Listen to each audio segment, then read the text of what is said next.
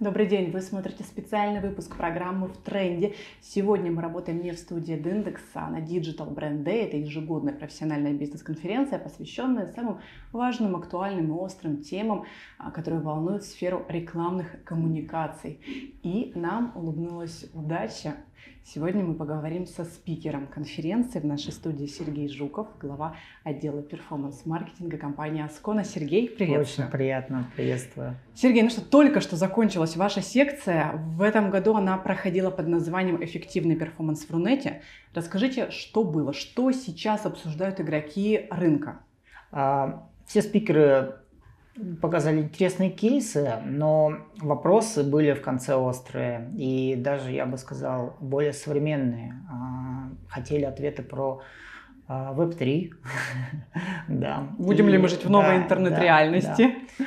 Вот. Ну, конференция была интересная. А, тогда давайте подробно поговорим а, про Аскону, про вашу сферу деятельности. Начнем с установочного. А Склона сегодня выступает в трех ипостасях, как рекламодатель, как производитель и как ритейлер. Вот за последний год, два, или вы можете отметить другой временной отрезок, с какими главными сложностями компания столкнулась в этих ролях? Может быть, не сложностями, а вызовами? Да, а, было непросто, скажем так, а, но мы приняли на самом деле как вызовы, а некоторые факты, факторы да, мы э, рассмотрели даже как э, возможность. А, на рынке в целом уход э, некоторых компаний он был расценен как возможность, потому что освободилась аудитория, ее нужно забирать, а игроки, скажем так, активировались за эту аудиторию. И это возможность, то есть да, с одной стороны, вроде бы падающий рынок, но здесь освободилось место, ниша, которую нужно а, забрать, да, а, проработать по ней, повысить лояльность. Вот смотрите, как производитель Аскона а, ушел, наверное, один из крупнейших игроков, всем известная, всеми любимая IKEA. Угу. Стало больше клиентов, стало, может быть, сложнее в каких-то вопросах стало сложнее. А, первый момент, что мы с IKEA партнеры, и это проблема для нас. Вот. А, но что говорить о рынке, сначала рынок ожидал все-таки ну, какого-то возвращения. То есть mm-hmm. те э, клиенты IKEA, они были в неком ожидании, а что же будет дальше? Ну, как будто бы вернется. То есть они закрылись, ну, месяц, ну, два, и вернется. А, есть некоторые исследования, что показывают, что клиенты Ikea не готовы пока что рассматривать другие бренды, они ждут. Вот. И уже а, часть игроков это понимала, и вначале было тоже ожидание. Но уже к концу 2022 года все-таки за клиентов началась а, такая хорошая борьба. Все хотели отработать эту нишу. Это большая ниша. И действительно, не только у нас, но и у некоторых конкурентов э, неплохо получается работать по этой аудитории. Но то, что они достигли, э, скажем, э, какого-то прям такого глобального результата по этой, по этой аудитории, ну, сказать невозможно. То есть все-таки есть шлейф, да, он еще тянется, но уже э, пользователи, да, клиенты все-таки рассматривают э, мебельный ритейл местный. Угу. Как рекламодатель? Что-то заметили? Какие-то изменения, трансформации? Что-то пришлось пересмотреть? Как рекламодатель, да. А, если рассматривать именно стратегию рекламную, да, то была, конечно же, такая некая неизвестность. А вот многие, наверное, э, небольшие, скажем, игроки на рынке, они все-таки брали паузу. А крупные а, конкуренты и наши, и мы, мы все-таки решили а, отработать больше в перформанс направлении. То есть, да, у нас не было какого-то, скажем, а, сокращения там сплита в performance, он наоборот рос. Мы подхватывали спрос, старались с ним играть и даже формировать да, этот спрос – Поэтому а наш медиасплит, наоборот, как бы он вырос.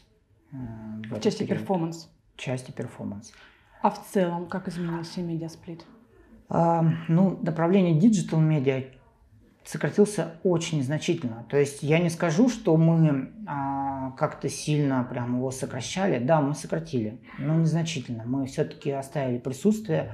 Наш бренд Formance отработал на отлично. То есть даже при падении рынка мы а, как бренд все равно были в плюсе, как брендовый спрос. И а, это говорит как раз о том, что а, все-таки наша узнаваемость, имидж, он работает. Ну, то есть вы также сочетали и brand performance каналы, такие классические охватные медиа с performance и digital. Да. Угу, поняла вас. Давайте чуть более поговорим подробно про спецпроекты. Э Сегодня спецпроекты выступают одним из таких популярных форматов, где можно в креативной, развлекательной, классной форме познакомить бренда с аудиторией, аудиторию с брендом.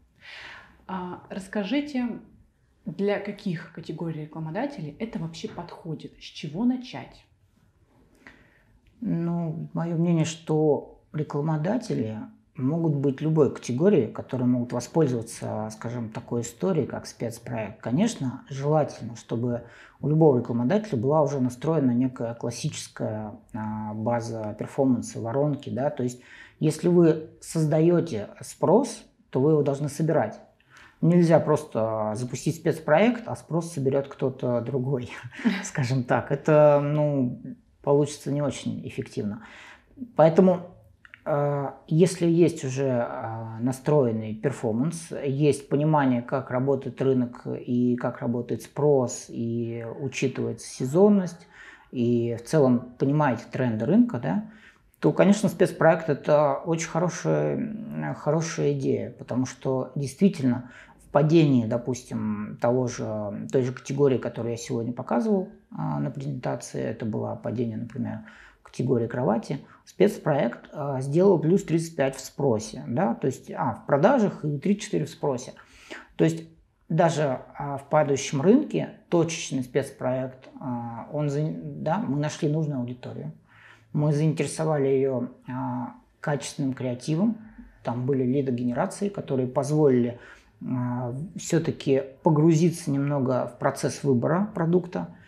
И получили а, от этого вот хороший профит. То есть э, все-таки конверсия с этой аудитории дальше, она была очень высокая.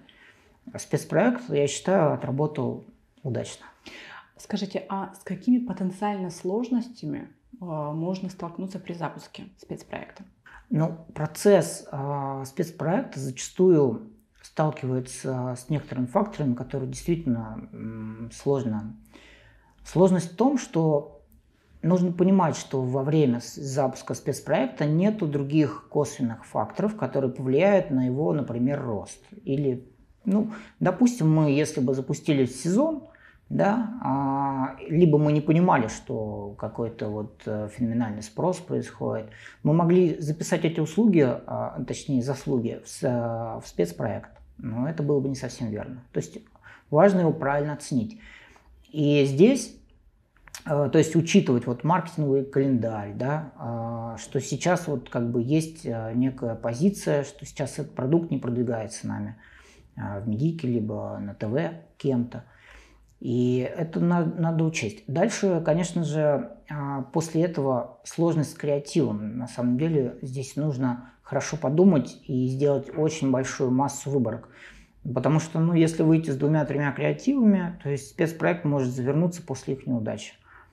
А, нужно продолжать, нужно тестировать разные креативы и делать, делать вывод, а, что именно в креативе было дело, да, то есть что вот в данном случае именно этот не отработал, другой отработал.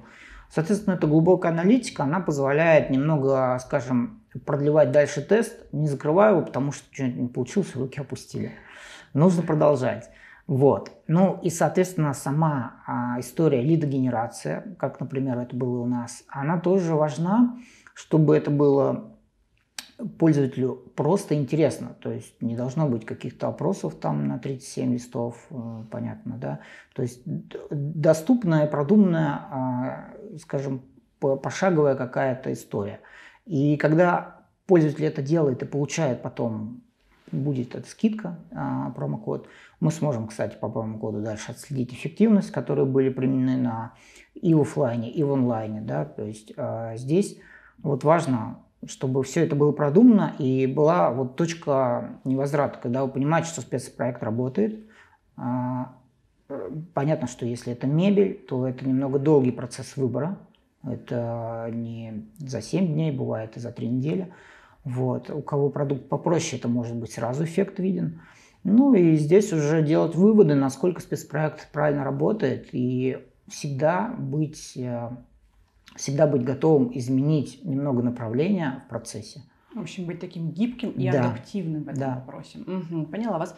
А, Сергей, давайте чуть более подробно поговорим про performance сегодня, потому что когда мы а, говорим о performance в новой реальности, сразу на ум приходят следующие вопросы. А будет ли возможный перекос в сторону brand-performance подходов?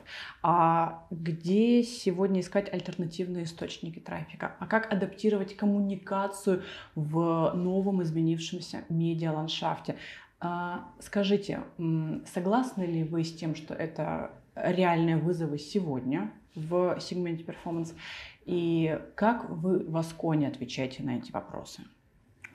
Я согласен, что этот вызов, он до сих пор тянется. А, тут я, наверное, скажу так, что когда это все произошло, а, уход иностранных площадок рекламных, я понимал, что сейчас Э, у локальных игроков, у наших техногигантов есть хороший шанс, да. Но э, так как я знаю не понаслышке, как работает разработка нового продукта, либо ее тестирование и так далее, я понимал, что тут не ограничится одним кварталом, да, то есть это будет дольше. И э, поначалу, да, было тяжело, то есть мы понимали, что откровенно а, не дотягивают пока что уровень технологий, а, ну, до которого был да, у нас. Вот у нас был определенный уровень, он откатился назад, и мы ждали, когда начнется все это развиваться. Это действительно сейчас развивается. Действительно, а, многие игроки начали работать над теми, над теми технологиями, которые были ранее.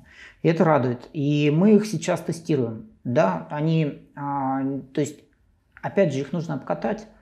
Понятно, что сразу они не запустятся так, как это было ранее. Мы их тестируем, а, мы делаем выводы и стараемся их укрупнить, потому что пока что на тестах это не такая значительная доля в перформансе, да, если в срезе перформанса каналах, то это не такая большая доля, которая была ранее. Вот. А, но это действительно вызов и для нас, и для, получается, тех, тех, техногигантов, да, то есть это действительно над этим работаем, и я вот в этом году уже вижу, что все-таки результаты есть. Мы начинаем потихоньку наращивать а, наши, а, скажем, каналы, а, и они, в принципе, дают нужный результат. А что вы думаете насчет возможного м, перетекания бюджета в сторону бренд-форманс каналов, бренд-форманс продвижения? Я на самом деле положительно вот к этому отношусь. Я знаю, что некоторые очень строго оценивают э, бренд-форманс, либо во времена кризиса начинают его, скажем так, сокращать почти в ноль. Вот. И э, я, я как бы уверен, что на самом деле это недооцененный канал.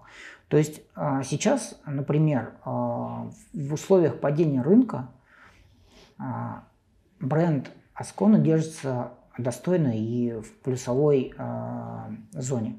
То есть если весь рынок в минус, мы тоже должны были уйти в минус, но бренд в плюсовой зоне. Я считаю, что это заслуга как раз э, не бренд-форманса. То есть все-таки, э, ну, конечно же, еще лояльность, да, э, это очень важно, что клиент остается лояльным. Вот. Но тем не менее, результат э, бренд-форманса, он показывает, насколько бренд, э, скажем, крепкий, да, наверное, в кризис. И вот это недооценено. Я считаю, многие отключают, потому что оставляют только перформанс, то, что приносит здесь сейчас, не думая, скажем, о будущем эффекте. Угу. А, Сергей, еще одной темой а, отдельно заслуживающей внимания выступает лояльность клиента, потому что сегодня важно ведь не только привлечь и даже не только а, довести до покупки конкретного mm-hmm. товара, но еще и удержать и стать лавмарк в сердцах потребителей. В прошлом году в кризисные моменты одним из паттернов поведения всегда выступает такая гиперчувствительность к цене как бренду с этим работать, как не заиграться только на территории цены и повысить лояльность э, аудитории? А, я здесь думаю так, что лояльность это очень тон, тон, тонкое искусство. А, у нас есть а, руководитель лояльности, и он отлично справляется с, с этим так как мы сейчас, ну не сейчас, а вообще в целом мы уже давно занимаемся глубокой аналитикой а, продажи в офлайн, да, мы э, настроили э, когда-то электронные чеки, и это отличный инструмент для лояльности. Мы получаем сейчас там открываемость электронных чеков 40%. Мы по электронным чекам можем оценить в целом многое о пользователе. И чем больше данных мы о них собираем, да, как бы это громко не звучало, а, тем более точно мы работаем по, лояльно, по лояльности клиента. То есть более много цепочек взаимодействия, мы их сегментируем. То есть э, теперь а, менее, скажем, назойливо приходят какие-то определенные рассылки, потому что мы знаем, что кто когда купил и когда ему что понадобится и более точно получается, да, ему меньше спама, но более а, рекомендательно точно работаем по аудитории. Поэтому а, подписки сошли на нет, отписки, наверное, сошли на нет, я предполагаю. Вот. И это работа вот, с сегментацией, скажем, лояльности, ну, аудитории в а, лояльности, она, в принципе, а, у нас отлично проработана. Ну, давайте для такого понятного примера. Человек покупает кровать, через э, день-два ему приходит сообщение о, о покупке, возможной покупке одеял, подушек и прочего. Э, рекомендательно, да, э, рекомендательные товары, они, конечно, я сейчас вам не подскажу через день mm-hmm. или два, а может и через неделю. Но а, мы точно сегментируем а, не только, когда он купил и что ему может понадобиться, но и бывают а, такие кейсы, когда мы можем просто напомнить перевернуть матрас. Прошло достаточно времени с покупки, мы вам рекомендуем перевернуть матрас. Были такие у нас цепочки, есть цепочки о рекомендациях, что нужно делать с купленной вами подушкой, да, то есть, ну, мы наращиваем эти цепочки благодаря как раз а, наращиванию данных о пользователях. В основе коммуникации в первую очередь лежит забота. Забота это точно. Забота о клиентах и потребителях. Сергей, благодарю вас. Спасибо. Сергей Жуков, глава отдела перформанс-маркетинга компании Аскона, был у нас в студии. Подписывайтесь на Эдиндекс, мы есть во всех социальных сетях для получения оперативных новостей. У нас есть телеграм-канал Эдиндекс Лайв, новости более подробно читайте на нашем сайте edindex.ru. На этом я с вами прощаюсь. До свидания.